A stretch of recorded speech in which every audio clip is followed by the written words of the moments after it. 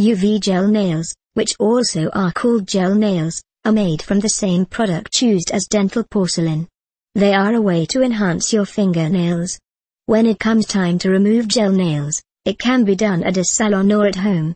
When removing UV gel nails in your home, care should be taken to avoid damaging the underlying nail. File the gel nail with the nail file until there is a thin layer of gel left. File gently to avoid damaging the living nail underneath. Gently warm the bottle of UV gel nail remover under warm running water for a few minutes.